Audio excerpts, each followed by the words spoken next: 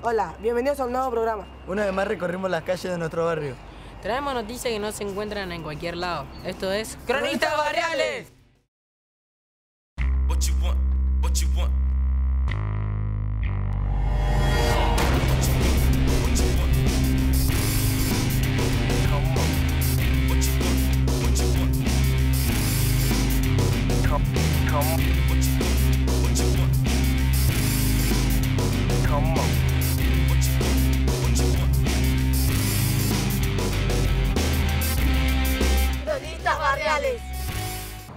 Güey y Esteban de Las son raperos del barrio. Estuvieron en la Universidad Nacional de Quilmes. Los chicos de la escuela secundaria técnica los entrevistaron. Yo lo sé porque lo viví, a mí nadie me lo contó, no lo escuché en una canción, ni lo vi por televisión. Yo jamás fui un tipo sumiso, jamás fui de los que se callan, esos que se dejan pisotear. Tengo presente que hasta quien te ama te falla, y el seguro muere por confiar.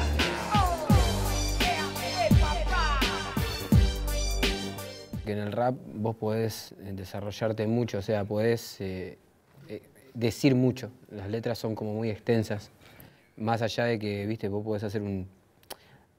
nosotros hacemos la- las letras, la- las canciones, digamos, las diagramamos como canciones y hacemos estribillos, introducciones, puentes. Eh, pero más allá de todo eso, vos haces un, un estribillo que, que, que sea como la idea de, todo- de toda la canción y después en los versos podés extenderte mucho y podés decir mucho. Y a mí lo que, lo que puedo expresar en cada canción, que no es como, como la cumbia quizás, sino que puedes hablar tu, tu realidad, tu realidad de la vida, del barrio. Te decían algunas personas que nunca ibas a ser cantante o nunca ibas a llegar a donde estás ahora. Sí, hubo gente. Y hasta el día de hoy hay gente que quizás no le gustaría que yo esté eh, viviendo de, lo- de- de mi arte. Em, pero también, al- digamos que a la gente esa que, que me tiró mala onda, eh, que me deseó el mal y que decía que, que, claro, y que decía que no iba a llegar a nada, la ignoré, directamente la ignoré. Em, yo creía en mí, creía en los sueños que tenía yo y, y, y los, los fui construyendo de a poco. Uno, yo creo que los sueños, viste, cuando dicen los sueños se hacen realidad, no, los sueños los haces realidad. Los hace uno realidad. ¿Qué los motivó a salir adelante? Las ganas de crecer, eso. La gana de querer ser diferente, de Sí. querer resaltar, quizás demostrarle a todos estaban equivocados. Eso, eso, eso te ayuda bastante. La gana de demostrarle, yo te iba a demostrar que vos te equivocaste cuando me dijiste que yo no iba a ser nadie o que yo no iba a poder.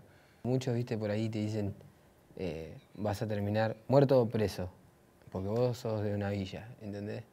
O vas a terminar siendo un albañil o vas a terminar laburando de limpieza. Y no, no, no voy a terminar haciendo eso. Yo voy a vivir de mi arte, yo voy a ser artista, yo voy a poder. Aparecen oportunidades y muchas veces uno, viste, por ego o por, o por como decimos en el barrio, por lo de retine, ¿me entendés? O decir, eh, ¿qué quiero? No quiero, no, no quiero, no. Es la oportunidad, aprovecharla, porque la oportunidad pasa y después te querés matar, ¿entendés?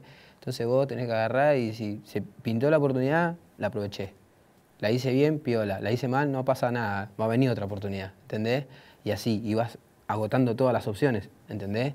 Y en un momento vas a llegar a donde querías llegar. Cuando te des vuelta, vas a haber caminado tanto que cuando te diste vuelta y miraste para atrás te diste cuenta que llegaste a donde querías. La famosa película de Un día viene fulano, te toca con la varita y vos sos millonario y sos, no sé, una superestrella. Eso no pasa, no es real. Mentira, ficción Eh, para que vos estés esperando que vengan y nunca va a pasar. Es Exacto. algo del sistema. En cambio, ¿Eh? vos vas haciéndolo todos los días y cuando menos te das cuenta, ya tenés todo lo que querías. What you want? What you want? Estuvimos en la Feria de Ciencia de la Escuela Técnica número 2. También conocida como el Chaparral de Bernal. Vamos a verlo.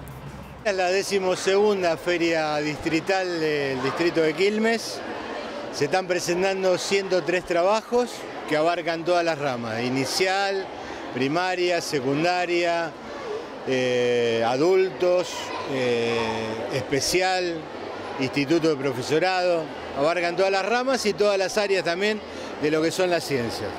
en un día de lluvia que no vinimos a la escuela. Y después a la señorita se le ocurrió que teníamos que hacernos para no faltar más una ecocapa, que es esto, para los días de lluvias, para que no nos mojemos y vengamos a la escuela, que no se nos mojen los útiles y que no se no- nos mojemos nosotros y que no nos enfermemos.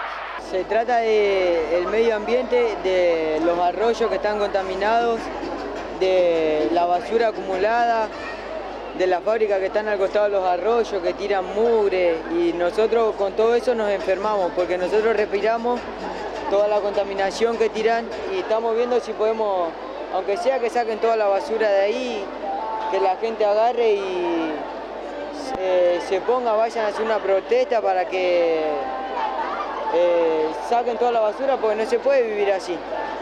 Este proyecto se trata de, de buscar nuestros árboles y el árbol que nos identifica a nosotros como San Francisco Solano. En nuestro colegio hicimos una votación de estos tres árboles y ganó el curupí. Y entonces vamos a plantar este árbol que nos va a donar eh, el Museo Hudson. Nos lo va a donar y lo vamos a hacer una jornada, vamos a hacer y lo vamos a plantar.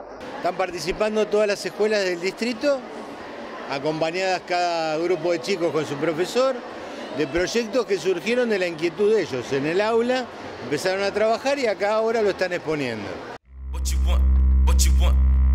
Cronistas barriales. Fuimos a la reunión del consejo local. De promoción y protección de los derechos de los niños, niñas y adolescentes.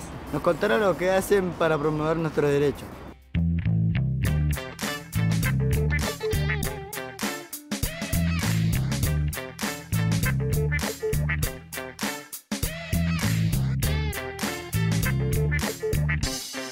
El Consejo nos aporta eh, proyectos, acompañamiento, eh, va al territorio, va a los lugares, conoce, se involucra también eh, con nosotros, con las organizaciones y bueno, y llevan adelante distintas acciones que también nosotros acompañamos. Nosotros trabajamos con grupos de juveniles en los centros juveniles y es un tema trabajar con ellos e intentar reconstruirle los derechos que se le fueron sacados. Ellos mismos pueden promover y, y dar a conocer, bueno, hacemos campañas dentro de la organización, invitamos a los padres y le comentamos a los padres lo que ellos van sabiendo, les van enviando también a los padres algunas tarjetas y demás, haciéndole conocer sus derechos.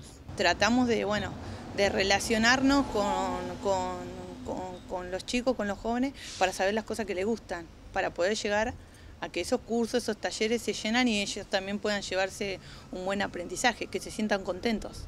Esto de juntarnos nos permite tomar conciencia de la fuerza que tenemos como, como consejo y, bueno, y, esto es una gran ayuda.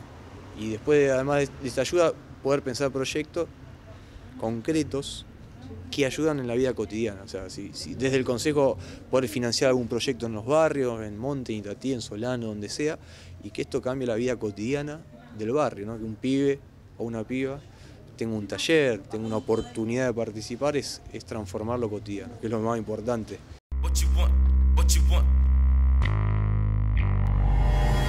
Esto fue todo por hoy. Nos encontramos en el próximo programa con muchas más noticias. Y no te olvides de seguirnos en Facebook. Esto, Esto fue Cronistas Barriales. Yo nací en un barrio bajo donde la pobreza y los problemas me hicieron crecer. Hay donde no se curte que en el frente de batalla uno hace lo que tiene que hacer. Porque el sol sale, el barrio se ilumina, nadie regala nada y hay que ganarse la vida. Cae la noche, se activan las esquinas empieza la secuencia de la vida clandestina. Así es el barrio. Yo vengo del barro, yo vengo del barro, yo vengo de barrio bajo. Así es el barrio. Yo vengo del barro, yo vengo del barro, yo vengo del barrio bajo. Que resuenan, los pibes descansan mientras pasan fumando el pasito que vendió la tranza. Chicas atrevidas se hacen piercing en la panza, madres que se quejan porque la plata no alcanza. Paredes escritas con nombres de los finados, altares con velas y fotos del pibe nombrado. Cumbia, cachivache y humildad por todos lados. La vida a todo ritmo de pobres crucificados. Olvidados, sueños que murieron, historias de amor fugaz, de familias que no existieron, atracos de película, de pibes que perdieron, buscando tapar con plata todo el daño que sufrieron. Olla popular de comedor comunitario. Cura el dolor de panza cuando más es necesario. Leer el diario que prende fuego al barrio mientras se arma el bagallo para llevarle al presidiario. Yo nací en un barrio bajo donde la pobreza y los problemas me hicieron crecer. Hay donde uno se curte que en el frente de batalla uno hace lo que tiene que hacer. Porque el sol sale, el barrio se ilumina, nadie regala nada y hay que ganarse la vida. Cae la noche, se activan las esquinas y empieza la secuencia de la vida clandestina. Así es el barrio, yo vengo del barro, yo vengo del barro, yo vengo de barrio bajo. Así es el barrio, yo vengo del barro, yo vengo del barro, yo vengo de barrio bajo. Oh, Esteban Elas, EAP, este es el rap nacional, acá en vivo con Philly Way.